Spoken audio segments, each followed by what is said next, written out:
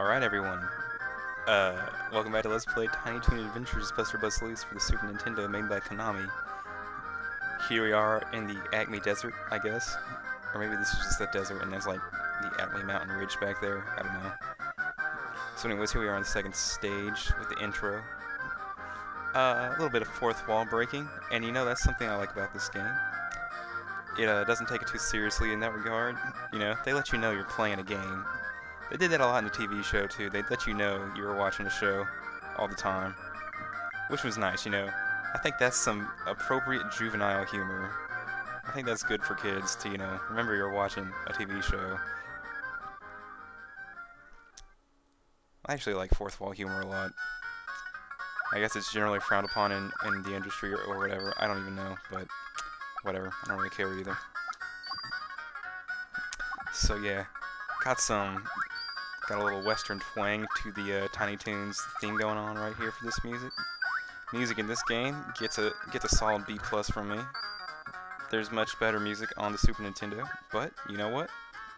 They play on the theme well, and uh, i mean that's all you really need to ask for a game about a TV show. Whenever you watch, you know, shit like the Angry Video Game Nerds, always like, number one, where's the music from? You know, the source material. And here it is, right here in spades. So, gotta jump over this uh, jump rope right here before we can uh, continue on. And every time you miss, you lose uh, health. So that is an issue. Now there's some stars up there, but you know what? Fuck those stars.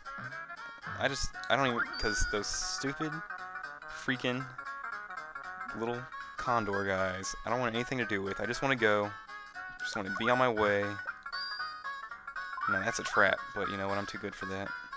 I'm smart. Oh, drop kick. What's up? Oh, change it up this time with some barrels. Gonna wait and see if they're gonna drop another one. Yep, there it is. Better safe than sorry.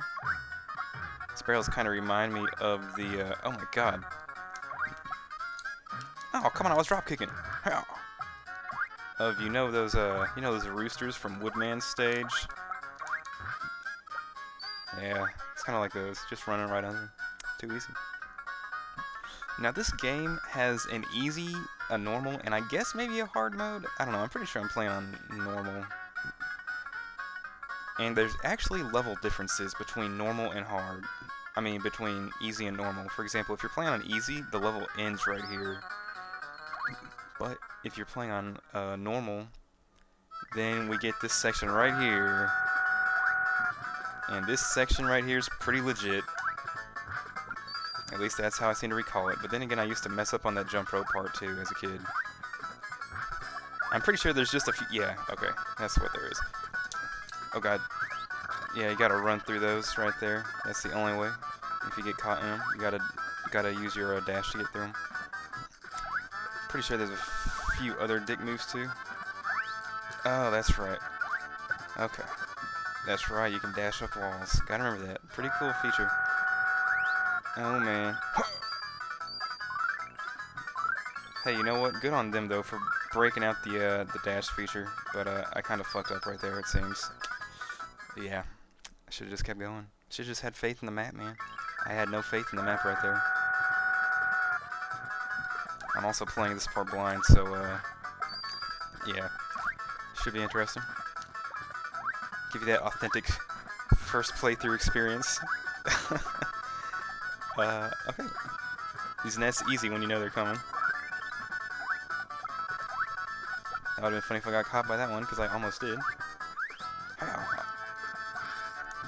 Not 100% sure how to... Okay. I can just hit the dash button again and I'll get out of the dash. That's probably going to be useful. Dash! Jump! And whenever you pick up one of these Go-Go Dodos, you get full dash meter, which is good.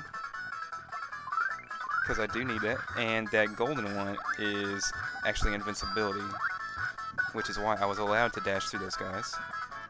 Now my character was flashing right there, so I have no idea if you'll be seeing invisibility or you'll actually be seeing a solid Buster Bunny right there.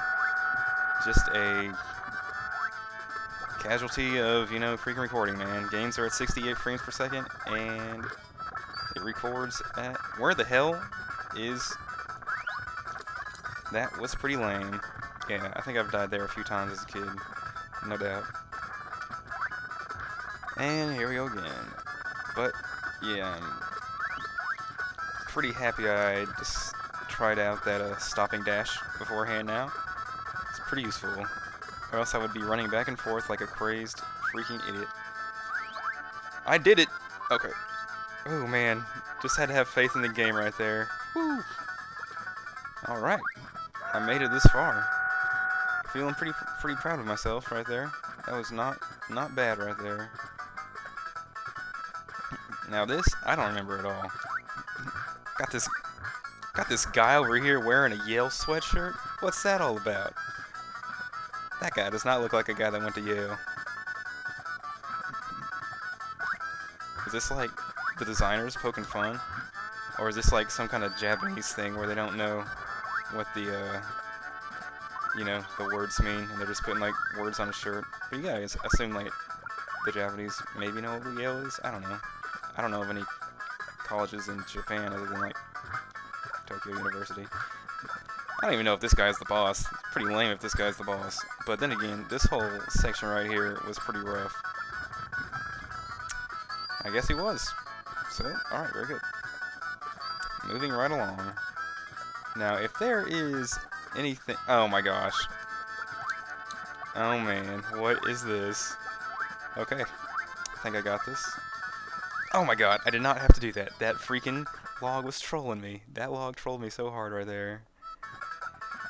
At least I can start right here. This part was pretty easy. I should not have panicked. There's no need to panic in this game. You just have to trust trust the programmers. They're not going to screw you that hard.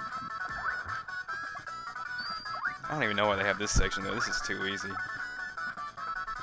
I mean, it'd be like hard for like a kid or something, but I mean that part before this was so much harder in comparison even. This is just drop kicking fools. They don't even like throw stuff at you. Like I thought Arnold was harder than this guy over here. Maybe it's just a little breather though, you know, breaking it up. Gets you inside the train, a little bit of change of scenery. I got no problem with that really. Who is this guy though? Is this like Montana Max's dad? I don't think you ever actually saw Montana Max's parents in the show. Which I would say is like a commentary on like why he's such a dick. But uh I don't think you see anyone's parents in the show really, so you know, it is what it is. Alright, let's try this one more time. And on to the logs. And there it is. Oh god! Oh god, I missed! Fuck! Arnold. Dang it, man. Come on. That was not cool, dude. Okay. Man, I kind of want to... I wonder if I can actually do that. I feel like I need to, like, practice right here.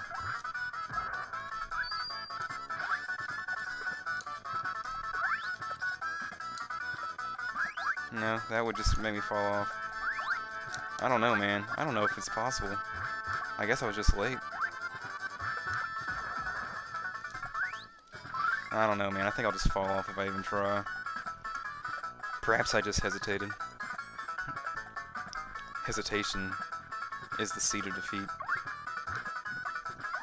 A wise ninja once said that. Come on, get back on the swimming pool. Look at this wuss over here. His little cane. Who does he think he is? Getting tired of beasting this fool. Alright.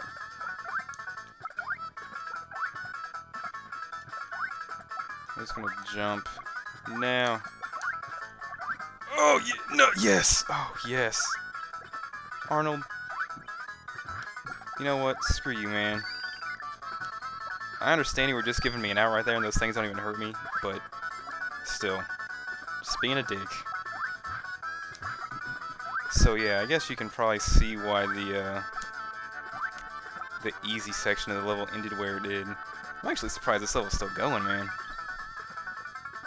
This is impressive. They really sell you short on the uh, on the easy level. What a beast.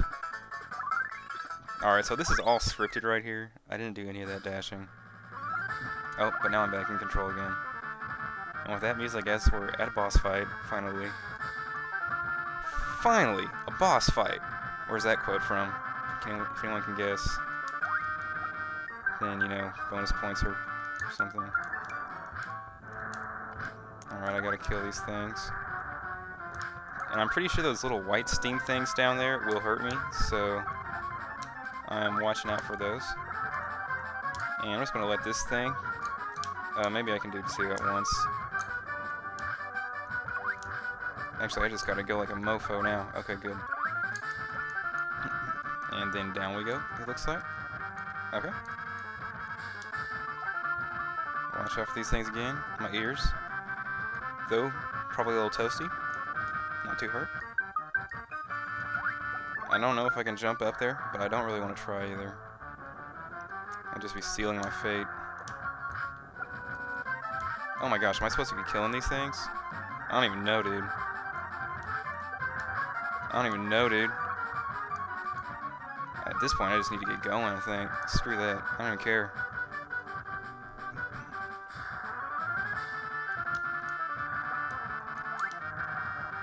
Oh my gosh. This may be just be an endurance test. That is a 1-up right there. I don't think we've actually seen one yet, so that's what it is. Oh my gosh, I just got shat on by that fire. What's up, Max? Dude. I'm just gonna chill here, because screw that fire. Wait. Yo, what's up, bro?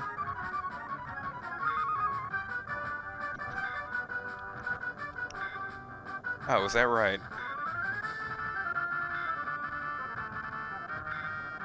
Alright, let's escape by jumping on that railroad cart. No problem. Alright, Max, let's go. I don't even know what I'm supposed to be doing right here.